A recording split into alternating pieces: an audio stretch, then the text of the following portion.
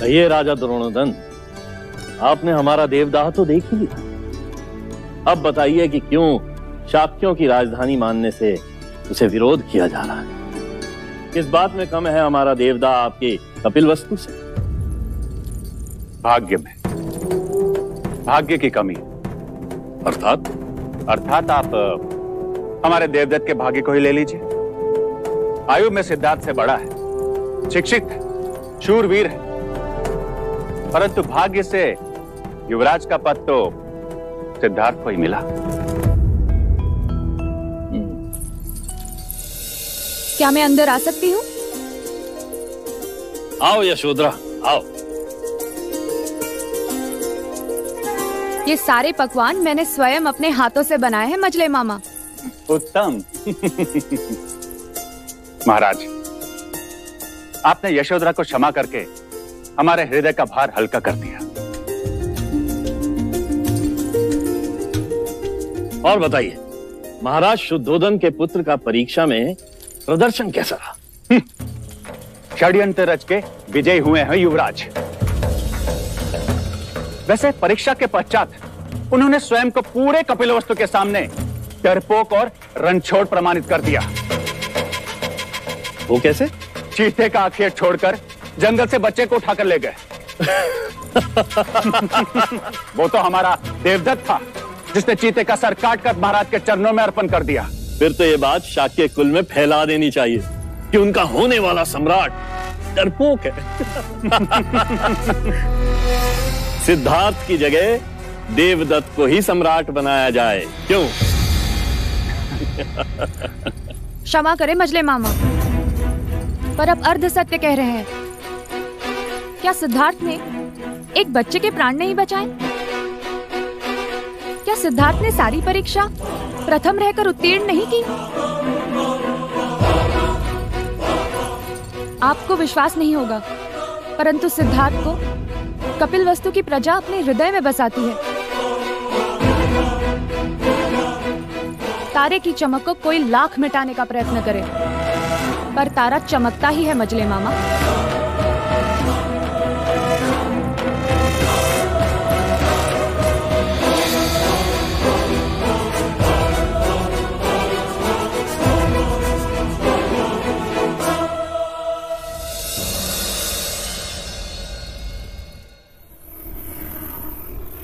सिद्धार्थ ये लो मेरी तलवार। मेरी इच्छा में जब भी तुम्हें देखूँ एक क्षत्रिय की तरह अपने शस्त्र के साथ देखूँ। इसका भार मैं नहीं उठा सकता। सिद्धार्थ की आचार्य कौंडिन्य के साथ घनिष्ठता बढ़ रही ये उन्हीं की संगत और शिक्षा का परिणाम है कि सिद्धार्थ ध्यान की तरफ़ आकर्षित हो रहे हैं।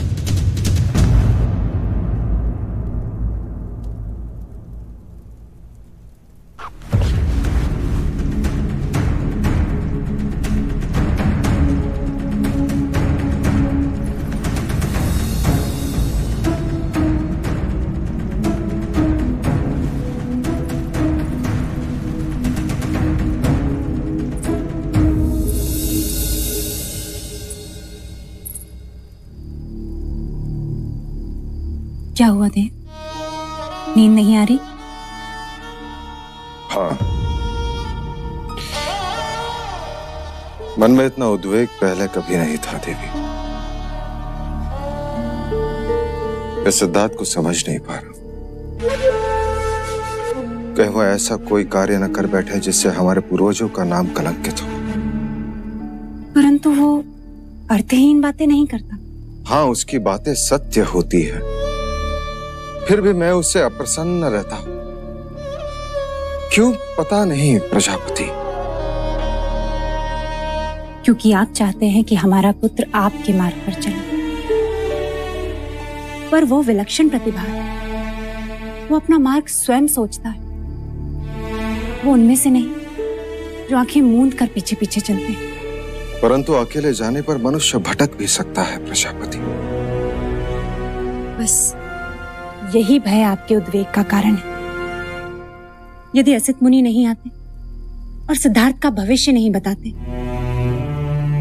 तो ये भय कभी नहीं होता। और आपको सिद्धार्थ की सभी बातें सहज लगती हैं। सत्य कह रही हो तुम। उसकी बातें मैं सहज स्वीकार नहीं करता। क्योंकि आप उससे बहुत स्नेह करते हैं। वो कुछ अनुचित करता हूँ क्या? नहीं। पर मर्यादा से अधिक सावधानी भी कभी कभी संकट बढ़ा देती है। आइए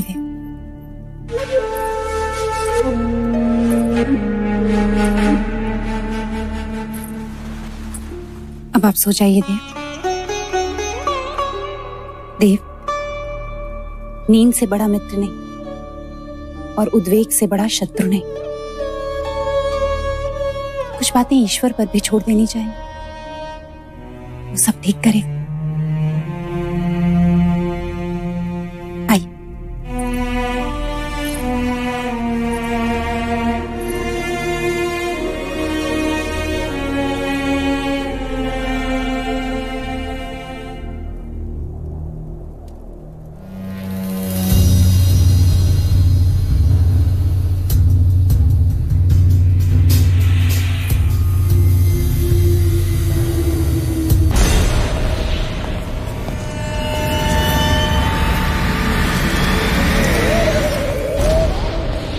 Sedat! Sedat! Sedat!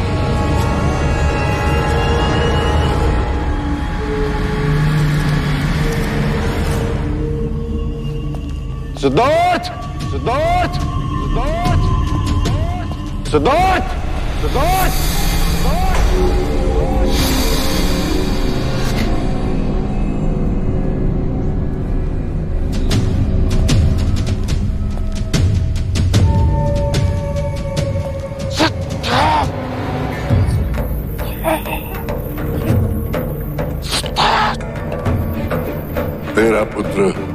सन्यासी बने सन्यासी बने। देव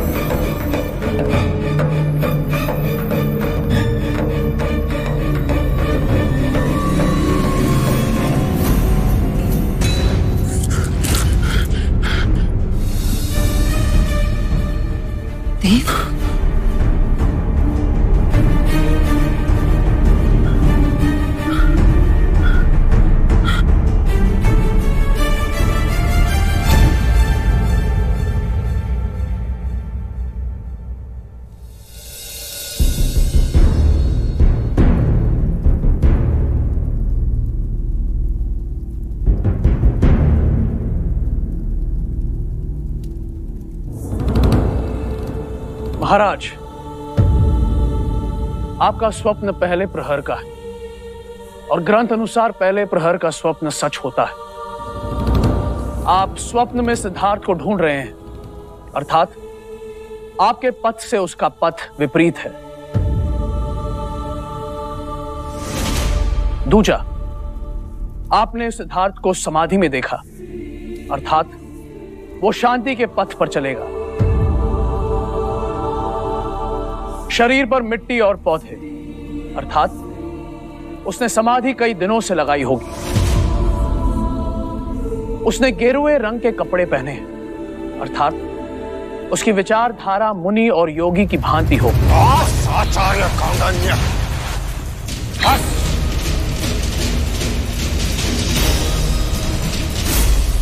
कृपया शांत हो जाइए महाराज। महाराज विचलित ना हो। पहले प्रहर के स्वप्न सत्य होते हैं, किंतु उसके एक नहीं, कई संकेत होते हैं। स्वप्न का आकलन व्यक्ति विशेष पर निर्भर करता है। स्वप्न में आप उन्हें खोज रहे थे। इसका अर्थ यह है कि किसी बात पर वो आपसे कहीं आगे निकल जाएँगे। स्वप्न में आपने उन्हें समाधि में पाया। इसका अर्थ यह है कि युवराज का संकल्प दृढ़ है। जो वो ठानेंगे, वो करके रहेंगे। आपने उन्हें मुनि की भांति देखा। अर्थात, लोग जैसे एक मुनि को पूछते हैं, युवराज को भी वैसे ही पूछेंगे महाराज, हम सब जानते हैं कि युवराज की जन्म कुंडली में कई सिद्ध योग हैं, और जिस राजा का संकल्प दृढ़ होता है, वही चक्रवर्ती होता है। मैं आपके कथन से सहमत हूँ कि स्वप्नों का आकलन व्यक्ति विशेष पर निर्भर करता है। आचार्य कौंडिन्य मेरा आपसे मतभेद है। आपने सिद्धार्थ को वो ज्ञान दिया जो मैं उसे देना नहीं चाहता था। आपने सिद्धार्थ को अहिंसा, ध्यान और मृत्यु का ज्ञान दिया। वो उचित न था। कुलगुरु वाचस्पति ने सच कहा, महाराज, आकलन व्यक्ति विशेष पर निर्भर करता है। जो बालक आठ वर्ष की आयु में सारे शास्त्र कंठस्थ कर लेता हो, उससे क्या छुपेगा? महाराज, वेदों और शास्त्रों में जगह जगह पर जीवन, मरण, मोक्ष, मुक्ति का उल्लेख है। केवल इन उल्लेखों और उपदेशों से कोई सन्यासी नहीं बन जाएगा। अब तक शमशान वैराग्य की भावना उनमें नहीं हुई। क्योंकि उन्होंने अब तक किसी भी मनुष्य की अथवा अपने स्वजन की मृत्यु नहीं देखी। उन्हें मनुष्य रोग की अनुभूति नहीं हुई है। और रही बात अहिंसा और ध्यान की तो अहिंसा उनका स्वभाव है और ध्यान उनकी रुचि। महाराज, स्वभाव और रुचि मनुष्य अपने साथ लेकर जन्म लेता है। उसे सिखाया नहीं जाता। एक पक्षी की पीड़ा, अथवा एक जीव की मृत्यु देखकर जो बालक बेहाल हो जाता है, मनुष्य के दुख उसके लिए अमूल्य होंगे।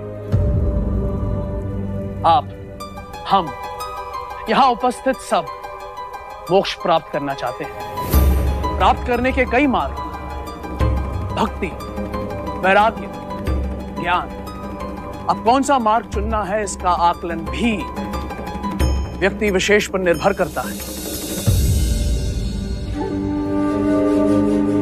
फिर भी, यदि आप सब गुणी जनों को मेरी शिक्षा प्रणाली अनुचित लगी हो तो मैं क्षमा चाहता हूँ। महाराज, मुझे यहाँ से जाने की अनुमति दे दीजिए।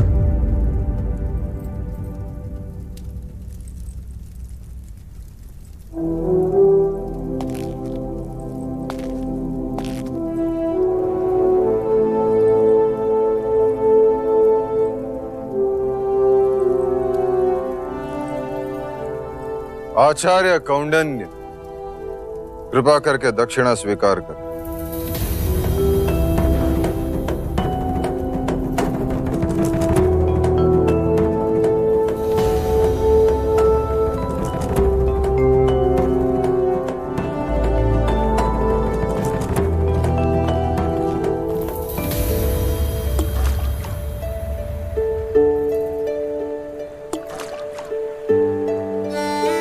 ऐसा क्यों होता है चन्ना?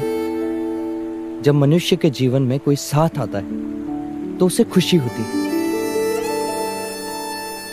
और जब छोड़कर चला जाता है तो ग्लानी। देवी गोपा के जाने का दुख है आपको?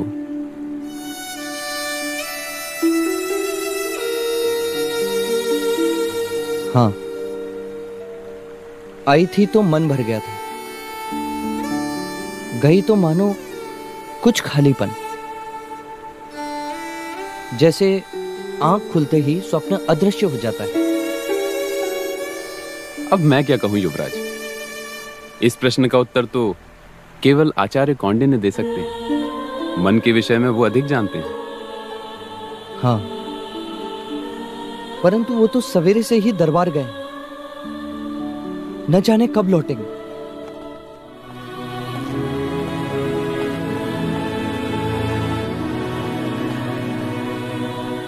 कुलगुरु मैं ये दक्षिणा स्वीकार नहीं कर सकता। क्यों आचार्य? क्योंकि युवराज को दी गई मेरी शिक्षा महाराज को उचित नहीं लगी। आप उचित अनुचित को भूल जाइए आचार्य। कृपया आप इस दक्षिणा को स्वीकार कीजिए। नहीं मैं अपनी शिक्षा के प्रतिफल में दक्षिणा लेता हूँ। केवल एक ब्राह्मण होने के नाते आश्रित होकर भिक्षा नहीं माँगता। क्या आप उस पर आक्षेप कर रहे हैं आचार्य कौंडिन क्या आपने महाराज को प्रसन्न करने के लिए असत्य नहीं कहा? नहीं, आचार्य। मैं इस राज्य का कुलगुरु हूँ। मेरा कर्तव्य यह है कि मैं राजा के प्रति, इस राज्य के प्रति निष्ठावान रहूँ। कि कहीं उनका विश्वास खंडित ना हो जाए। वो चिंता मुक्त रहे कि वो अपनी प्रजा का अच्छा पालन कर सके। क्या आपको ज्ञात नहीं? है कि मुनि के एक कथन से पूरी की पूरी एक पीढ़ी को कपिल वस्तु से निकाल दिया गया था। और आपका भी इस राज्य के प्रति यही कर्तव्य था, आचार्य कौंडे ने कि आप युवराज को क्षत्रियता का पाठ पढ़ाते, बाकी एक सन्यासी का। कुलगुरु, आत्मा भाग्य को साथ लेकर आती है। आपके अथवा मेरे कहने से कोई सन्यासी नहीं बन जाता। मैंने युवराज को वो प्रत्येक शिक्षा दी है, जो एक गुरु को अपने शिष्य को देनी चाहिए। क्षमा करे गुरुवरिया जीवन निर्वाह के लिए जो शिक्षा से समझौता करे, उसे गुरु नहीं कहते।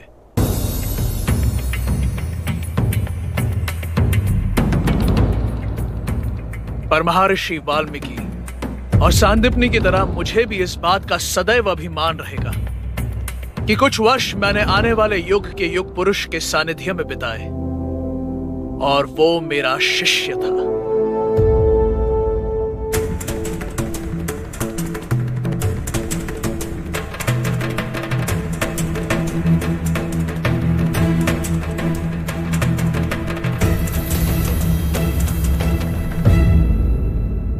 कौंडन्य के विचार तो आपने सुने भाई महाराज।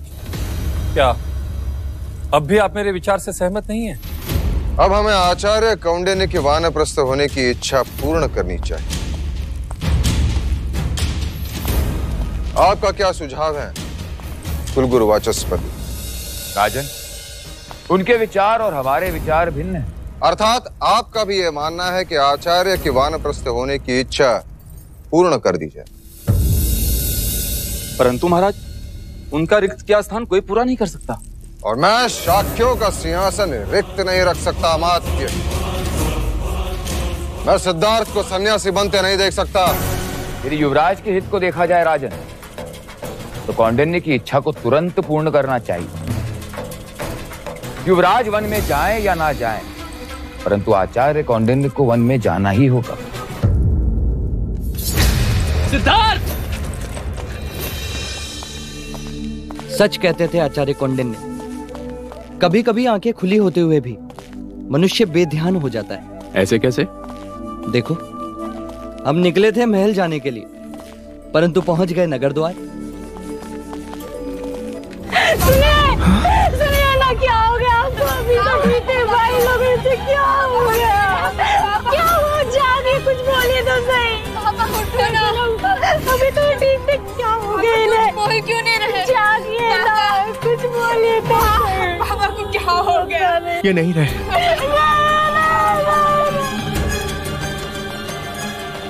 चिराग और मृत्यु का कोई भरोसा नहीं। कब द्वार पर आ जाए?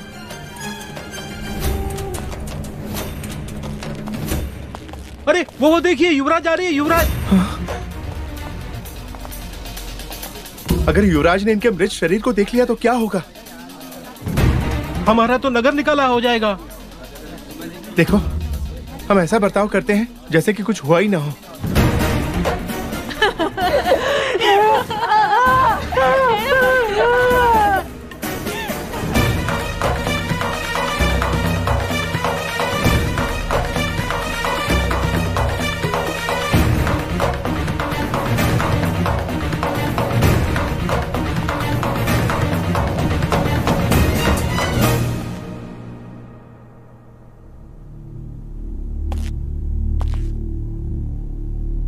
क्या हुआ?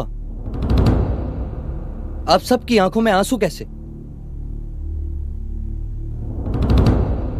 अब क्या बताएँ युवराज? वो अभी अभी सूखी हवा की ऐसी आंधी आई कि सबकी आँखें गीली कर गई। आंधी? मैं और चन्ना भी यहीं थे। हमने तो कोई आंधी नहीं देखी।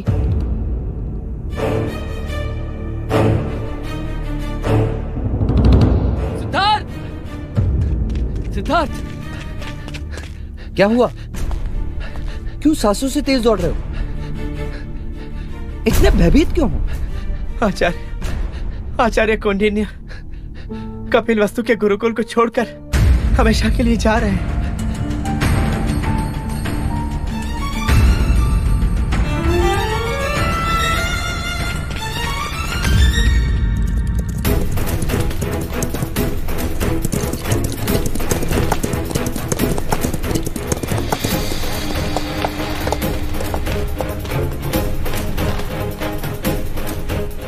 सत्य है गुरुदेव कि आप हमें छोड़कर जा रहे हैं। वान प्रस्थ हो रहे हैं। वानप्रस्थ तो मैं आठ वर्ष पहले ही होना चाहता था सिद्धार्थ। और तुम्हारे कारण रुक गया। तो आज भी रुक जाइए ना गुरुदेव। आपके बिना यह सिद्धार्थ अधूरा है। अगर आप मुझे इस तरह छोड़कर चले अरे सिद्धार्थ तुम जानते हो ना उस पेड़ पर एक चिड़िया ने अपना घोंसला बनाया है। जी। वही जो रोज अपने बच्चों को अपनी चोट से खाना लाकर खिलाती है। जी गुरुदेव। आज उस चिड़िया ने अपने उन बच्चों को घोंसले से धक्का दे दिया है। क्यों? प्रश्न तो मैंने भी अपने आप से किया था। क्यों? तभी मुझे प्रकृति के भेद का पता चला। धरती पर गिरने से पहले उस चिड़िया के उन बच्चों ने अपने पंख फड़फड़ाए और देखते ही देखते वो उड़ने लगे। परंतु गुरुदेव मुझे पंख फैलाने नहीं आते। मुझे जाना होगा सिद्धार्थ। मेरा कर्तव्य पूरा हुआ। मैंने अपना संपूर्ण ज्ञान तुम्हें दे दिया है। अब सन्यास आश्रम का समय आ गया है। और सन्यास आश्रम का मार्ग वान प्रस्थान से ही है। शास्त्रों में चार आश्रम का ज्ञान दिया है और हर एक आश्रम का अपना एक महत्व है। परंतु गुरुदेव मेरी शिक्षा तो अभी अधूरी है। आपने मुझे वानप्रस्थ और सन्यास आश्रम का ज्ञान तो दिया ही नहीं। आचार्य कौंडिन्य मेरा आपसे मतभेद है। आपने सिद्धार्थ को अहिंसा, ध्यान और मृत्यु का ज्ञान दिया, वो उचित न था। कुछ बातें समझाई नहीं जाती सिद्धार्थ। समय के साथ साथ समझ में आती है। राग, द्वेष, मोह, माया वासनाओं के बंधनों में बंधोगे तभी उसे छोड़ने का ज्ञान होगा। जिसका अनुभव नहीं, उसकी बातें भी निरर्थक हैं। जैसे फल को पेड़ से तभी उतारा जाता है जब वो पूरी तरह पक जाए। वैसे ही वानप्रस्थ और संन्यास आश्रम का ज्ञान तुम्हें गृहस्थ आश्रम के पश्चात ही होगा। परंतु गृहस्थ आश्रम के पूर्ण होने के पश्चात मैं आपको कहाँ ढूंढूँगा? उस समय तुम्हें मुझे ढूँढने की आवश्यकता नहीं होगी सिद्धार्थ। तुम स्वयं ज्ञानी हो जाओगे। कदाचित मैं ही तुम्हें ढूंढते हुए आ जाऊँ। ये लो। इसमें मेरा सारा ज्ञान संजोए रखा है मैंने। उचित समय आने पर इसका चिंतन करना। तुम्हारे कुछ प्रश्नों के उत्तर तुम्हें अवश्य मिल जाएँगे।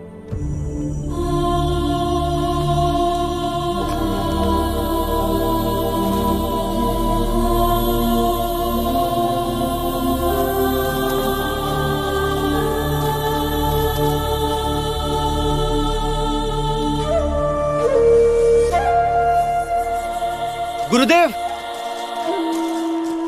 रुक जाइए गुरुदेव। आपके बिना मैं अकेला रह जाऊँगा गुरुदेव। रुक जाइए आचार्य। क्या तुम्हें ऋग्वेद की ऋचा स्मरण है? जी। तो आँखें बंद करो और बोलो।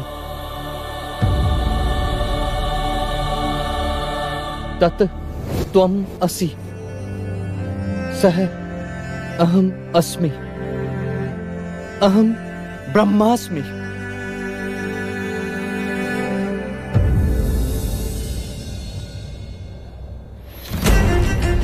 गुरुदेव!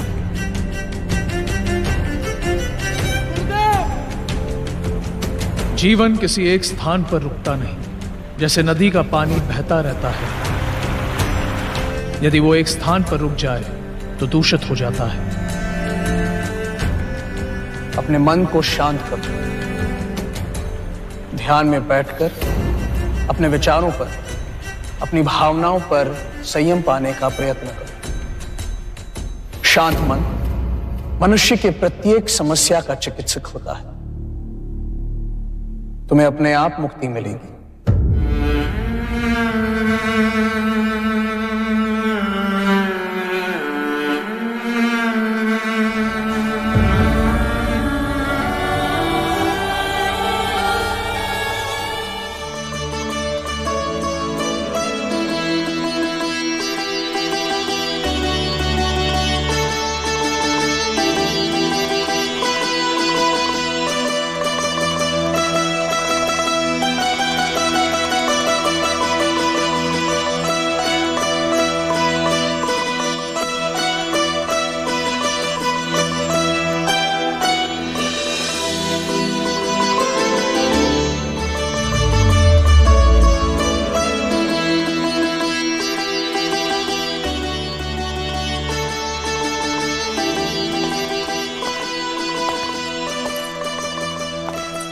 क्षमा कीजिएगा महाराज। किन विचारों में खोए हैं आप? नृत्य में भी आपका ध्यान नहीं है?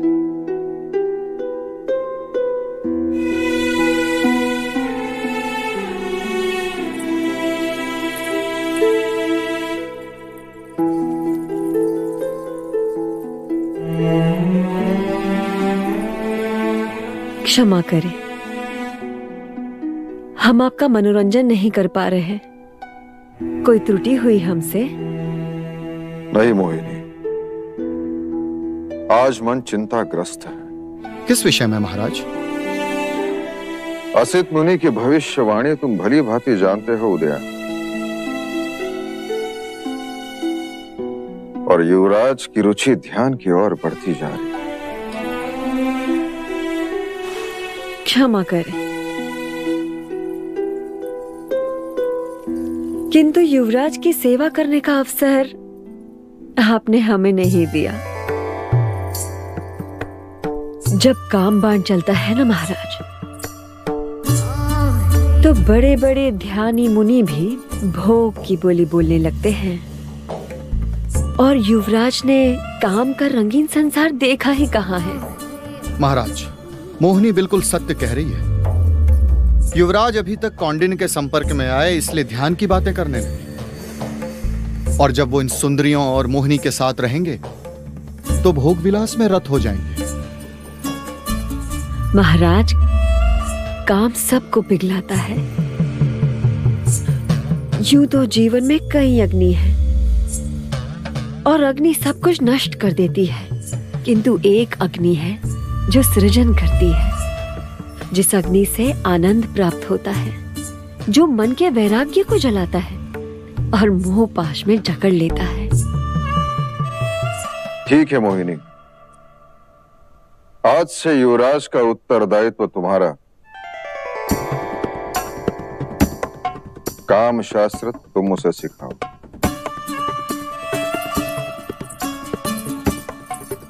महाराज इस काम वासना से आज तक कोई नहीं झूठा है। युवराज को काम शास्त्र का पाठ हम पढ़ाएँगे। और हाँ महाराज, शिरच्छेद कर दीजिएगा हमारा। यदि युवराज कामारूढ़ ना हो जाए तो।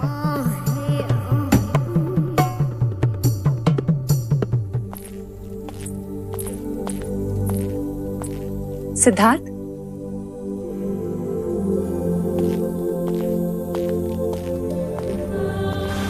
जीत रहा किन विचारों में डूबे माँ मेरे मन में बार बार एक ही प्रश्न उठ रहा है। यदि मुझसे कोई अपराध हुआ है तो मुझे दंड दे। आचार्य कौंडिन्य को पद से हटाने की क्या आवश्यकता थी? क्योंकि वह स्वयं एकांत चाहते थे वानप्रस्थ होना चाहते थे। उन्हें तो अपनी इच्छा से एकांत मिल गया। और मुझे अकेलापन। आचार्य कौंडिन्य मेरे हर प्रश्न का उत्तर थे। मेरी जिज्ञासा का प्रत्युत्तर थे। अब मैं किससे प्रश्न करूँगा? और किससे उत्तर पाऊँगा? ईश्वर से। ईश्वर? जो स्वयं एक प्रश्न है। वो प्रश्न के उत्तर क्या देगा? जो ईश्वर बोलता नहीं, जो ईश्वर देखता नहीं, वो ईश्वर जिसका कोई ठिकाना नहीं। नहीं, सिद्धार्थ, बल्कि यूँ कहो कि सारी सृष्टि उसका ठिकाना है।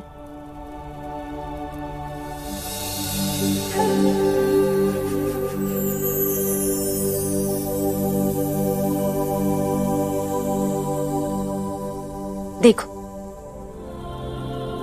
ये सूर्य भी ईश्वर का एक रूप है, जो दिखाई देता है, जो अपने धूप से तुम्हें छूता भी है और अपने उजाले में सृष्टि का ज्ञान देता है। क्या ये किसी गुरु या आचार्य से कम है? और संध्या में जब ये डूब जाता है तो हम निराश नहीं होते। क्यों? क्योंकि हमें विश्वास है। कि यह कल फिर आएगा। एक नई सुबह के साथ। सिद्धार्थ, ईश्वर के एक नहीं, अनेक रूप होते हैं। कभी वो आचार्य कौंडिन्य के रूप में आता है तो कभी सूर्य बन गए। कभी मित्र के रूप में आता है तो कभी पुत्र बन के न जाने कल तुम्हें किस रूप में मिल जाए।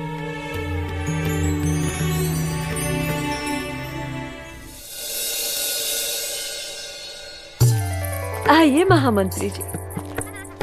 स्वागत है आपका।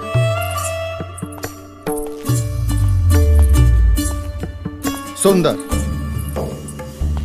अति सुंदर। युवराज अवश्य पसंद करेंगे। देवियों, आज तक केवल क्षत्रिय अपनी मातृभूमि के लिए युद्ध करते आए हैं। अपने तलवार के बल पर शत्रुओं पर विजय प्राप्त करते आए हैं। परंतु इस बार यह कार्य आप लोगों को करना है। तलवार तो हम उठा नहीं सकते। हम तो बस पलकें उठा सकते हैं। तलवार से अधिक बेधक शस्त्र हैं आपके पास। आपका सौंदर्य आपका श्रृंगार आपकी ये भाव भंगिमाएँ रति जैसी मादकता और उन सबसे सर्वोपरि आपकी पुरुषों को समझने की क्षमता। युवराज स्वभाव से उदास है। करुणा से भरे हैं। दूसरों के दुख को अपना दुख समझते हैं। आपका यह कर्तव्य होगा कि आप सब उन्हें वैराग के विपरीत उंगली पकड़कर जीवन का आनंद प्राप्त करने की शिक्षा दें। उन्हें समझाएँ। कि संसार में जितना दुख है, उससे कहीं अधिक सुख है। ये रंगीन रातें, ये मादक शरीर, ये सुर, सुरा, ये वो सुख है जिससे उनके मन में उठने वाली वैराग की भावना सदा के लिए समाप्त हो जाए। हम तो युवराज को देखने को बड़े आतुर हैं। और हम आपको उनसे मिलवाने को। हम्म? जो गणिका उनके आसक्ति का कारण बनेगी वो सम्राज्ञी का सम्मान पाएगी। अति उत्तम। आप चिंतित ना हो महामंत्री जी। जीवन का ऐसा आनंद ना तो कभी उन्होंने सोचा होगा और ना ही कभी पाया होगा। उदासी उनकी दास होगी।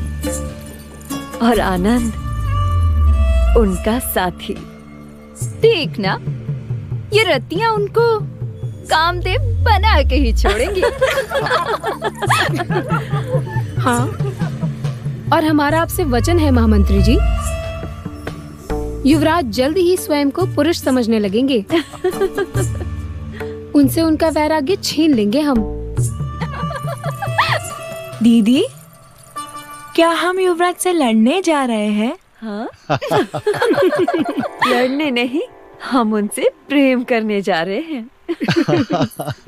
हम युवराज को युवराज से महाराज बनाएँगे।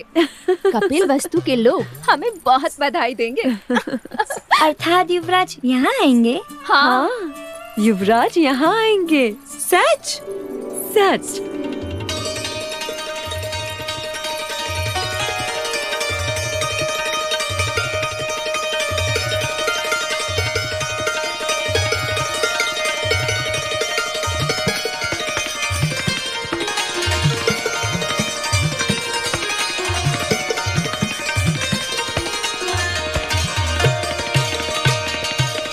उत्तम। अति उत्तम। संगीत और श्रृंगार युवराज को वैराग्य से वापस ले आए बस। महाराज आप निश्चिंत रहे। युवराज सिद्धार्थ बहुत जल्द अपना वैराग्य खो देंगे। अनुज?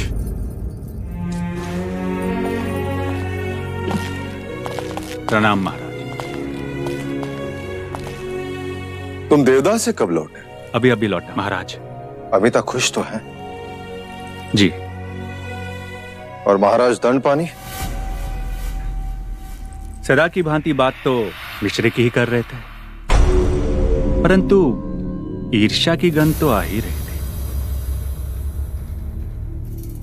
आपसे और युवराज सिद्धार्थ से बड़ी ईर्ष्या करते हैं हम। महाराज बोलो अंगद। कौशल नरेश का राजदूत आया है। महाराज से मिलने की अनुमति चाहता है। कौशल? जी महाराज। महाकौशल का राजदूत? क्यों? उसे कहो कि हम राज्यसभा में मिलेंगे। जो आ गया महाराज। कपिल वस्तु के शाक्य नरेश महाराज शुद्धोधन मैं आपको अपने पुत्र युवराज प्रसन्नजीत के राज्याभिषेक के अवसर पर श्रावस्ती पधारने का आमंत्रण देता हूँ। आपकी उपस्थिति युवराज का सद्भाग्य होगा और मेरा बहुमान, मोहर, कौशल नरेश, महाराज, महाकौशल।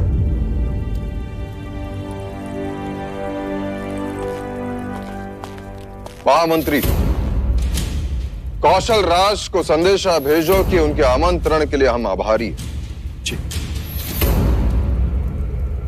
पुत्र का राज्य अभिषेक हर पिता के जीवन के लिए सौभाग्य होता है। हम अवश्य पधारेंगे। महामंत्री राजदूत को उनका सम्मान दिया जाए। जो आज्ञा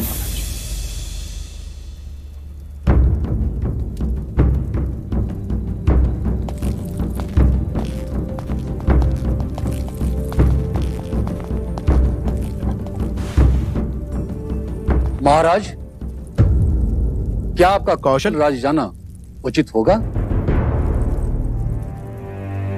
मैं तो कहता हूँ महाराज किसी बात का निमित्त बनाकर टाल दीजिए। इस राज्याभिषेक का आमंत्रण केवल कौशल राज का शक्ति प्रदर्शन लगता है। नहीं महाराज। आपको वहाँ अवश्य ही जाना चाहिए। और यदि आपकी अनुमति हो तो मैं भी साथ चलूँगा। मुझे भी कौशल नगरी देखनी है। और साथ ही युवराज प्रसन्नजीत को भी हाँ हाँ क्यों नहीं? वैसे भी आज नहीं तो कल हमारा सामना प्रसन्नजीत से होगा ही।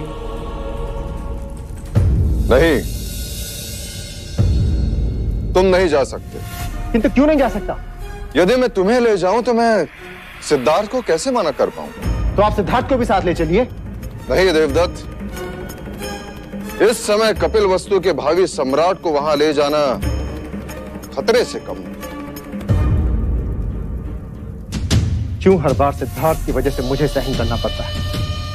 क्यों आप उसे कोई भी कारण बता के मना नहीं कर सकते? देवदत्त अपने विवेक की चौखट मत लांगो। इतनी भी समझने की महाराज से प्रश्न नहीं करते। जा यहाँ से।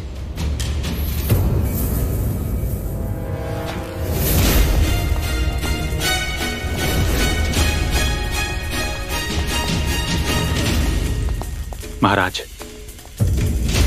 देवदत्त की ओर से मैं क्षमा माँगता हूँ। मैं उसे समझा दूँगा।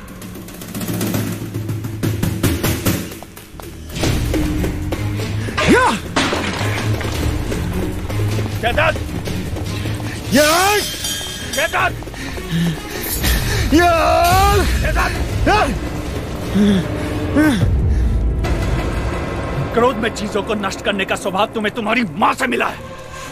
माँ से कुछ तो मिला। पिता से तो कुछ भी नहीं। देवदत्त मेरी बात ध्यान से सुनो। आज तक वही तो करता आया हूँ। शांत! और एक बात गांठ बाँध लो। महाराज को निराश करने का अर्थ है अपने ही भाग्य को ठोकर मारना। सिद्धार्थ से दूर जा रहे हैं महाराज।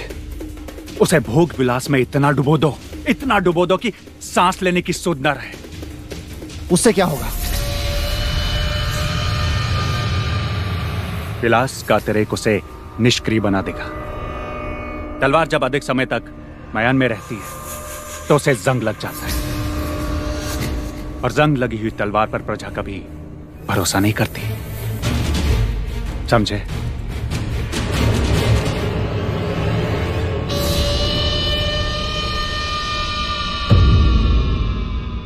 सत्य कथा पुरुषार्थ कथा सुनो सुनो सिद्धार्थ कथा